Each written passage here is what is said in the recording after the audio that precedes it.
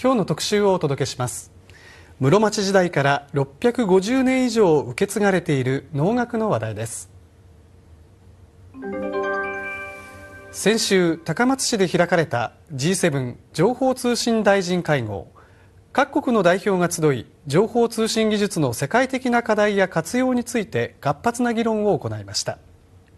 その歓迎会の開会アトラクションを務めたのは高松市出身の能楽師です。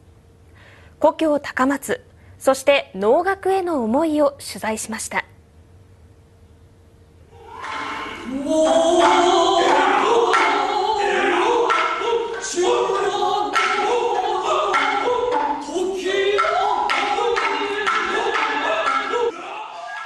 先月28日高松市で G7 情報通信大臣会合の歓迎会が開かれました。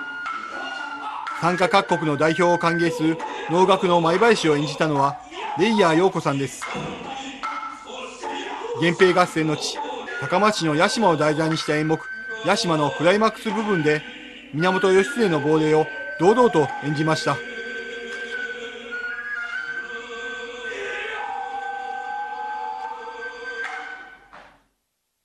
なんだろうこの世界はって気持ちになってくださったら嬉しいしじゃあそこであ屋島っていうのがゆかりの地でやってるんだって。じゃあこの土地は何だろうってね外出た時に屋島が見えると。ああそこのあそこに歴史があったんだなと。レイヤーさんは高松市出身で旧姓は太田です。東京学芸大学に在学していた時から演劇をしていてアメリカやロシアでも活動しました。2002年に演劇仲間のアメリカ人レイヤー・ポールさんと結婚し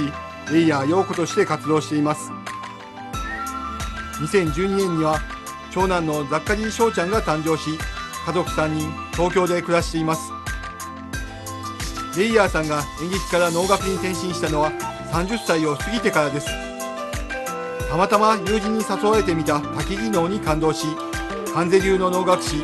人間国宝の梅若玄昌さんの下で修行を積みました。そして2010年にプロの能楽師として独立しました。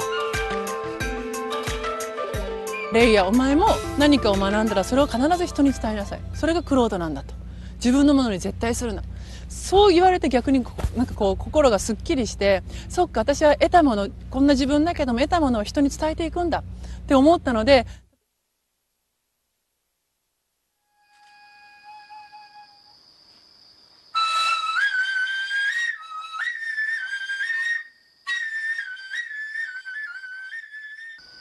故郷高松市で能楽を普及しようと、レイヤーさんは去年9月、立林公園で開かれた歓月会に出演しました。その時のチラシを香川県サミット閣僚会合推進室の井上さんがたまたま見かけ、G7 情報通信大臣会合の歓迎会への出演を依頼しました。レイヤーさん自体がですね、あの高松市の出身であると、しかもあの旦那様がですね、アメリカ人ということで、しかもあのあの高松でですね、えー、能を普及するためにあのわざわざ東京からまあ来て来られているというお話聞きまして、これはあのぜひお会いしなければいけないということですね。いや、もう嬉しくて、ありがとうございますって、まあ私は脳がね、自分が好きで脳を普及したいと思ってる人間なので、そういう脳にね、あの、こう、あの、脳いいんじゃないかと思ってくれたこと、もう本当に感謝っていうか、嬉しいですね。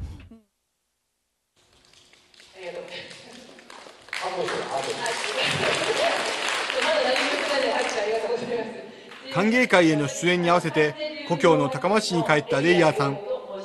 この日八島中学校を訪れました能楽の演目八島の題材になった高松市八島の生徒に能楽を体験してもらうのが目的です。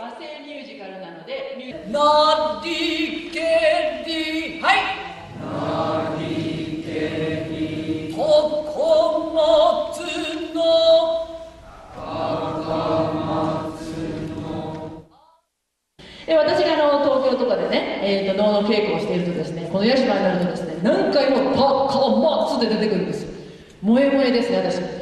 松出身だからね。やっぱ燃えちゃうんですね。ステージの上では生徒が表と呼ばれる面をつけて脳の動きで重要なすり足を体験しています。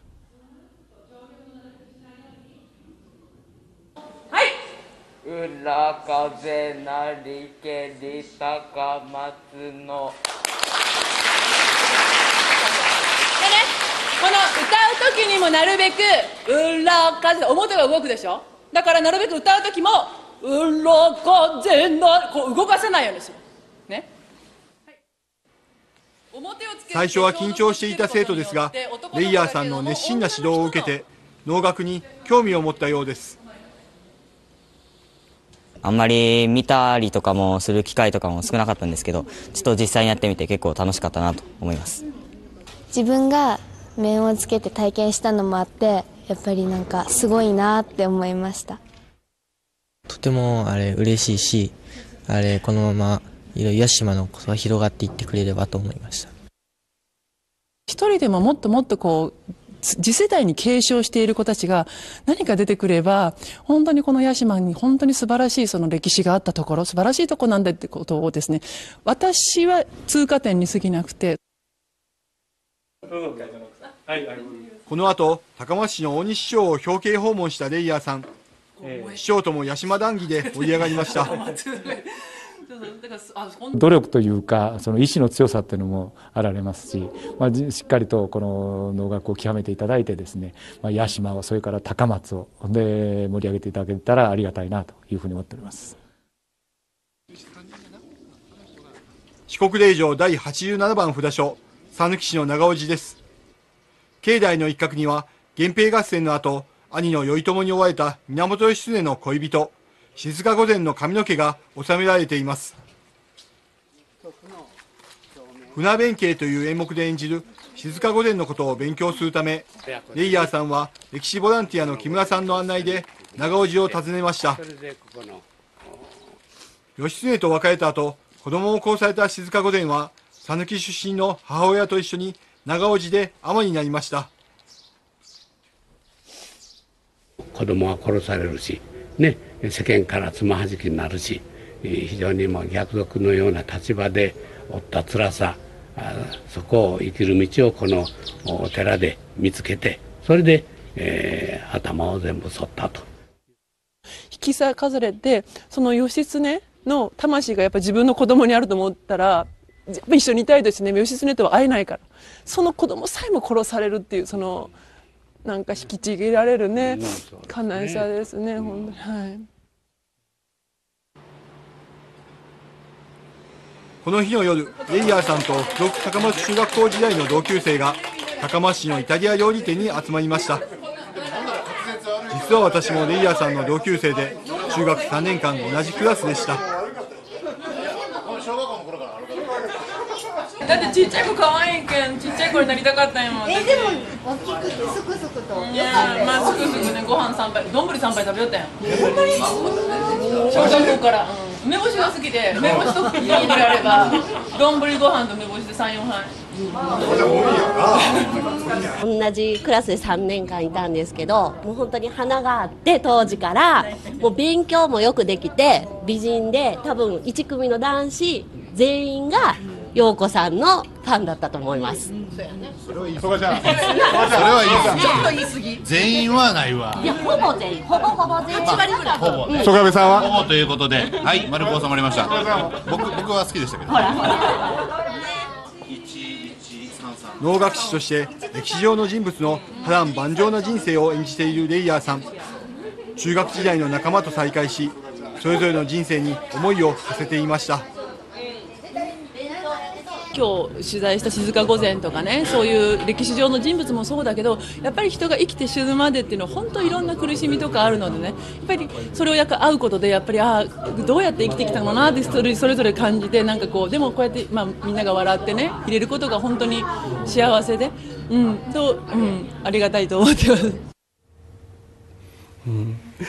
あのレイヤさんは普段東京にある梅若能楽学院会館という能楽堂を拠点に活動しているんですが今後も機会があれば故郷の高松市など香川県で能楽の普及活動を行いたいと話していました。